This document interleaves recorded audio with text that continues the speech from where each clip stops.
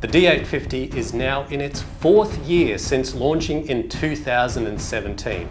Should you still buy it in 2021? Let's discuss.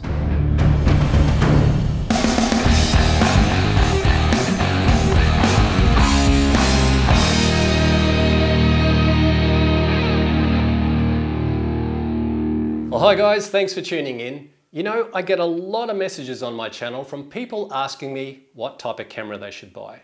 Now, the one dominant question they ask me the most is should I buy a Nikon DSLR or a mirrorless camera? And to be honest, my answer varies. Sometimes I say a DSLR, sometimes I say mirrorless. It all depends on the type of budget they have, as well as the type of photography they like to do. After using the Nikon D850 here for the last few years, here are my top five reasons why you should still consider buying it in 2021. The Nikon D850 battery power is, in a word, outstanding. It's no secret it can outlast the Nikon mirrorless counterparts quite substantially. As an example, I recently visited a national park here in Australia and I shot waterfalls, lots and lots of birds at high frame rates, video overlay in both 4K and 1080p, and by the end of the day when I was about to get into the car to come home, the battery warning light was just coming on the D850. So one battery lasted me the entire day.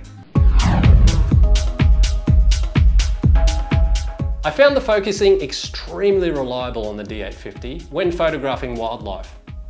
I really enjoy the fact I have that optical viewfinder, which makes the whole experience of wildlife photography more enjoyable and personable to me.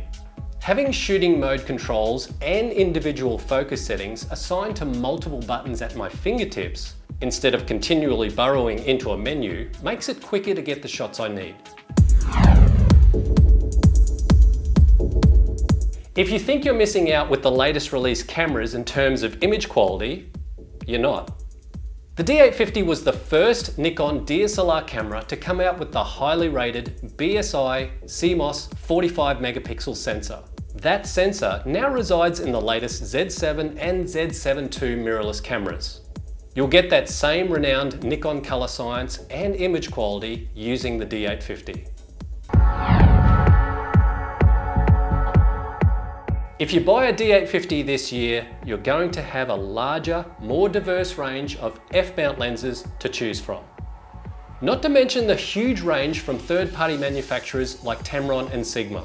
No matter what type of photography you like to do, there will always be an f-mount lens suitable for you. At the time of making this video, the new release Nikon Z7 II retails here in Australia for $5,500.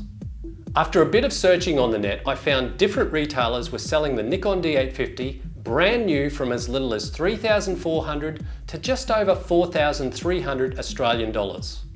That's a saving of between one and $2,000. With that money you save, you can buy two, maybe even three new f-mount lenses.